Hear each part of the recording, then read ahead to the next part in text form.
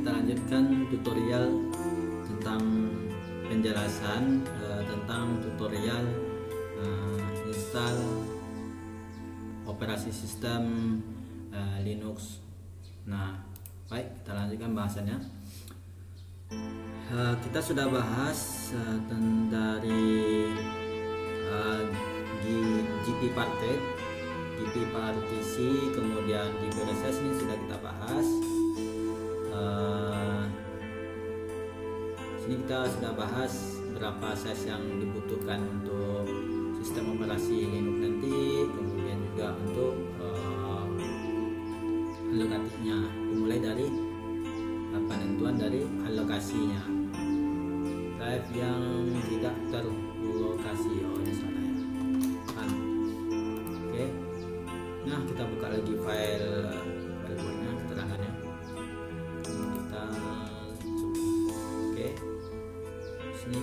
sudah bahas manajemen sering nah, kemudian new volume. Nah sampai new simple volume. Nah pada new simple volume ini ya pada new simple volume ini gunanya untuk membuat drive baru. Nah di mana setelah kita sering tadi lokal D atau lokal C atau drift yang kita sering tadi menjadi suatu drive baru yang bermerek unlocated ini nah unlokasi ini. Ini artinya uh, drive ini tidak bisa digunakan sebagai media penyimpanan. Nah sebelum dibuat new simple volume jadi kalau kita buat new simple volume kemudian kita lanjutkan dengan menjadikannya seperti ini formatnya uh, NTPS kemudian default gitu kan size nya default uh, kemudian labelnya new volume. Ini bisa juga diganti uh, maksud dari label ini adalah kita nanti di disk mau dijadikan labelnya apa itu. Biasanya kalau kita bikin new volume maka dia akan otomatis membuat new volume lokal E gitu. Karena di sebelumnya kita sudah uh, di sini C D dasarnya adalah E. Maka new volume E. Nah sementara ini spesifik uh, volumenya. Nah ini adalah untuk membuat simpanan uh, storage drive baru gitu. Dengan dengan jumlahnya yang kita tentukan. Nah jadi kalau untuk menginstal Linux kita tidak perlu buat new simple volume. Kita biarkan saja unlokasi ini listnya tetap warna hitam ya unlokasi nah ini seperti berikut. Nah kita biarkannya seperti ini. Nah sesudah bot lalu bagaimana penjelasan tentang partisi sesudah bot oke uh, sekalian saja nih saya merangkum menjelaskannya langsung dari cara-cara masuk bot booting nah dari awal tadi kita sudah kita masukkan uh, apa tombol tombol eh, masuk ke BIOS setup masuk ke BIOS setup main.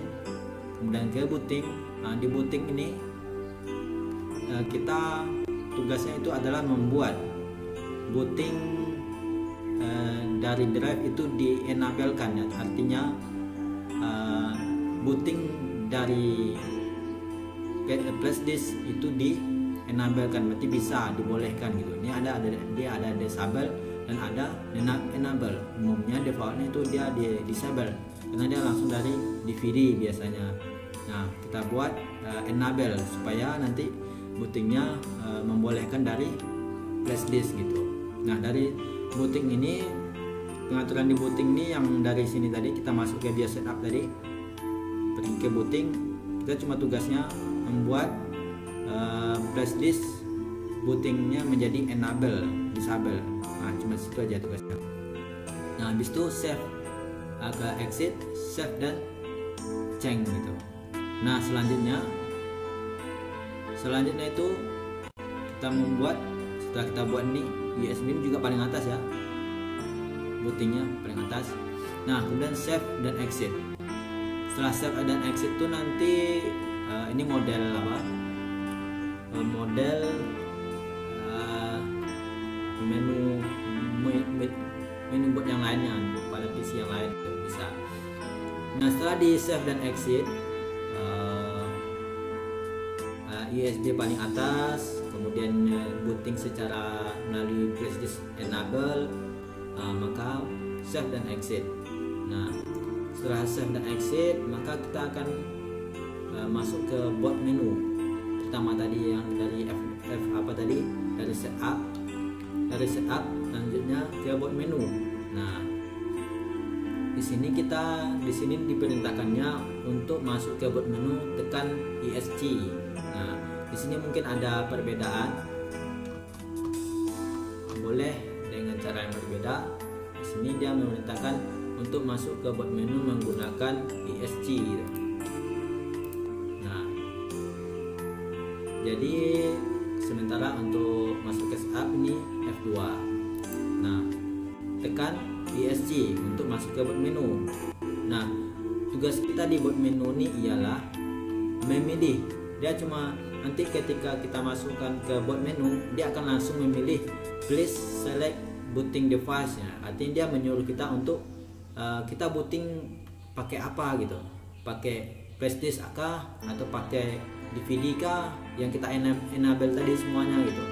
Nah kalau kita mengenabelkannya uh, flash disk makanya akan tampilnya Kingston data transfer ini USB nah kita select ini uh, USB nya kemudian enter. Maka setelah kita enter maka dia baru akan menjalankan proses instalasi. Jadi di sistem di sistem uh, setup ini di sini uh, sudah selesai uh, tugas tugas untuk menentukan booting dia. Nah, selanjutnya itu sistem operasi Windows lagi itu uh, bagian yang lainnya gitu. Nah, di sini kita sudah paham. Jadi ini perlu diingat ya. Pertama untuk setup itu berbeda. Nah, ini untuk setup, untuk setup.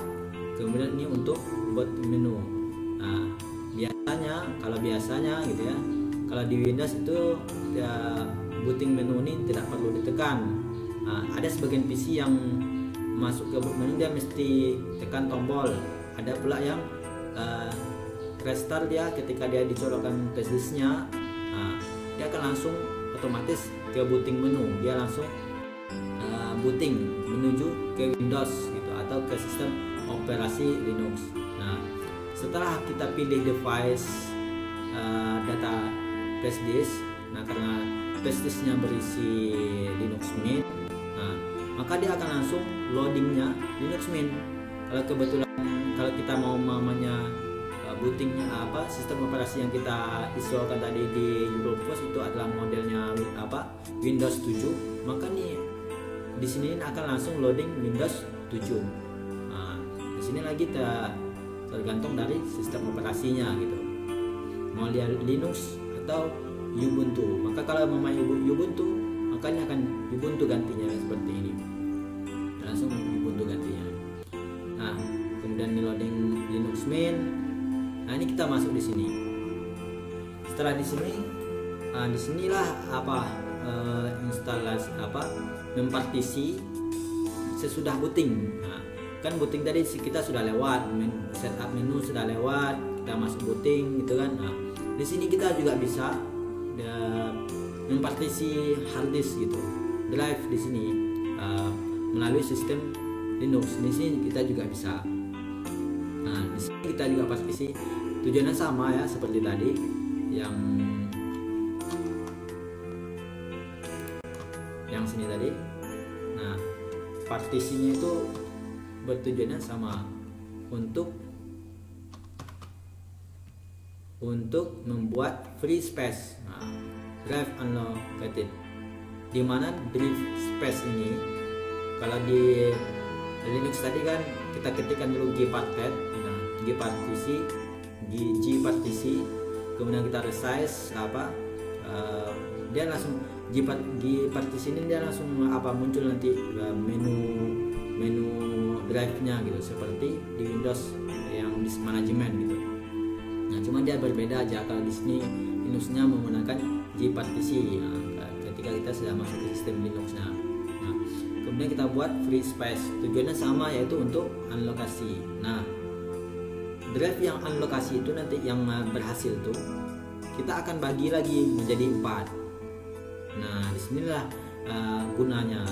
Kalau tadi kalau mamanya kalau kita disk yang apa namanya yang unlokasi itu uh, kita buat new simple volume yang tadi itu maka dia akan menjadi media simpanan biasa. Nah karena kita biarkan begitu saja menjadi unlocated maka kita baru kita partisinya setelah masuk booting nah, itu lebih mudah gitu. Nah kita bagi menjadi empat. Yang pertama itu size nya 200 MB untuk booting gitu kan. Kemudian uh, yang kedua itu size nya 10 GB sampai 20 GB ini boleh 10 GB boleh juga 20 GB ini untuk root gitu. sementara untuk swap area uh, itu boleh 1 GB dan 2 GB gitu. Nah, swap area ini apa gunanya? Kalau swap area ini gunanya untuk ketika disk di root di boot itu penuh. Jadi untuk mendukungnya itu adalah swap area. Jadi sehingga sistem OS tidak langsung hang gitu. Dibantu dalam uh, sistem kerjanya sistem operasi gitu jadi tidak langsung hang gitu nah sementara hop buat kita maksimal kenapa maksimal karena itu gunanya untuk menyimpan foto file atau dokumen-dokumen yang lain gitu nah tergantung kita dokumen yang kita butuhkan. Kalau banyak kita butuh dokumen gitu kan maka perlu uh, yang besar gitu.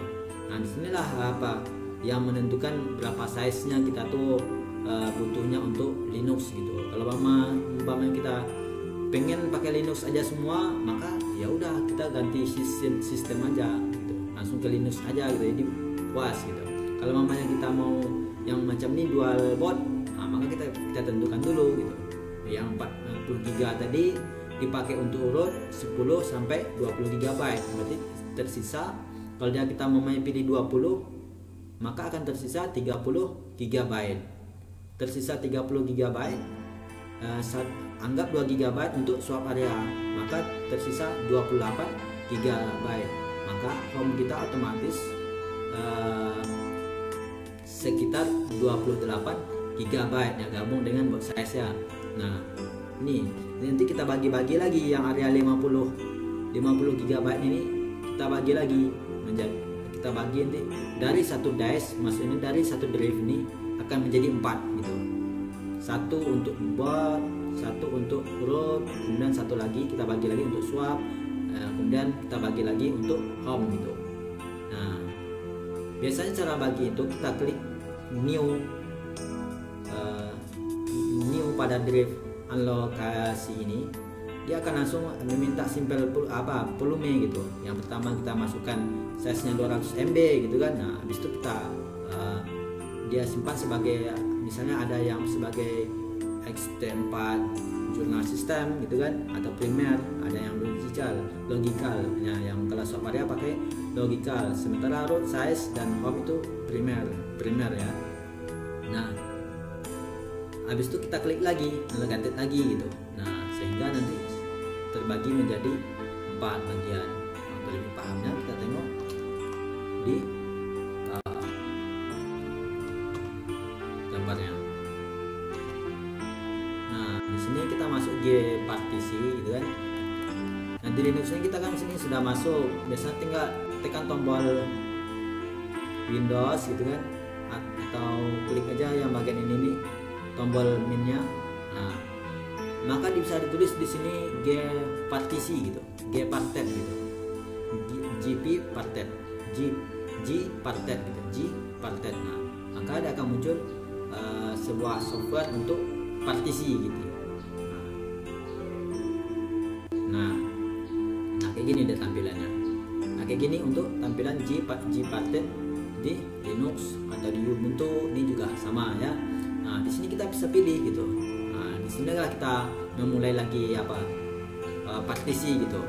Andai kan mamanya kalau kita tidak partisi di Windows maka kita bisa partisi di Linux. Nah jadi tergantung kapan kita mau partisi gitu. Ada yang saya belum booting yaitu di Windows. Kalau sebelum booting kan ya mesti di Windows kan kita apanya eh, partisinya. Nah, ketika sudah kita sudah melewati booting artinya kita masuk ke sistem Linux uh, dengan yang Linux itu belum terinstall itu maknanya sesudah booting gitu kan. Nah uh, kita sudah masuk ke booting kemudian kita masuk ke uh, operasi sistem Linux yang belum terinstall. Nah tapi dia sudah bisa uh, untuk mempartisi hard disk. Nah gitu kan. Nah kita masuk ke sini. Nah sini kita partisi dulu. Nah sama tujuannya untuk membuat sistem uh, free. Free alokasi nah nanti free itu barulah nanti uh, dijadikan sebagai empat media tadi gitu. Nah setelah selesai selesai membuatnya yang drift tadi itu dibagi dibagi itu kan dipartisi kan. Nah yang satu ini dibagi klik apply kemudian kan apply di sini kan. Nah, apply. Nah berarti sudah selesai kita membagi drive yang kita misalnya drive D gitu kan nah, kita sudah bagi cukup untuk operasi sistem Linux yaitu sekitar 50 GB atau 40 GB 45 GB kita bagi. Nah kemudian kita apply kemudian barulah kita pilih klik install. Install Linux Mint gitu di sampingnya sini. Kalau di Ubuntu klik Ubuntu. Ada install Ubuntu gitu. Nah, nah di sini setelah install Ubuntu nah sesuai prosedur masing-masing instalannya gitu. Nah nanti setelah di sini kapan kita kapan kapan kita membagikan uh, empat nih? Alokatifnya menjadi empat. Nah di sinilah pas sesudah uh, install gitu. Kita masuk ke sistem install Linux nah, nanti kita disuruh memilih uh, yang namanya something else gitu. Nah seperti ini else nah di delapan pilih something else kemudian klik continue gitu. Oke nah di sini nanti nah ini dia.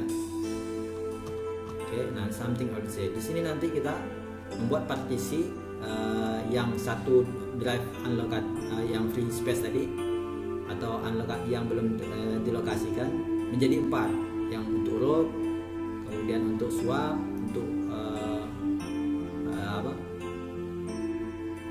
uh, apa home gitu ya. Empat empat. Empat bagi nah setelah itu maka tinggal turut uh, turuti aturan-aturan langkah install. Tidak ada ya sampai di sini jarang ada kesalahannya. Nah di sini setelah pandai dibagi menjadi empat tadi sudah fix. Sudah bisa dikatakan kita uh, finish dalam melakukan uh, install di sistem operasi Windows maupun Linux. Nah, kalau di sini dia membuatnya swap area, berarti ini sedang dia membuat partisi untuk swap. Nah, kemudian ini dikliknya lagi untuk uh, dari disk yang alokasi yang belum terlokasi tadi membuatnya menjadi swap area kemudian juga untuk EV kemudian untuk road gitu nah, kemudian setelah kita klik tuh nah dia akan langsung menanyakan lokasi. Lokasi uh, nama jenis keyboard jenis bahasa yang akan kita gunakan. Nah sampai di sini saja uh, penjelasan saya tentang sistem operasi Linux. Uh, lebih dan kurang saya mohon maaf. Assalamualaikum warahmatullahi wabarakatuh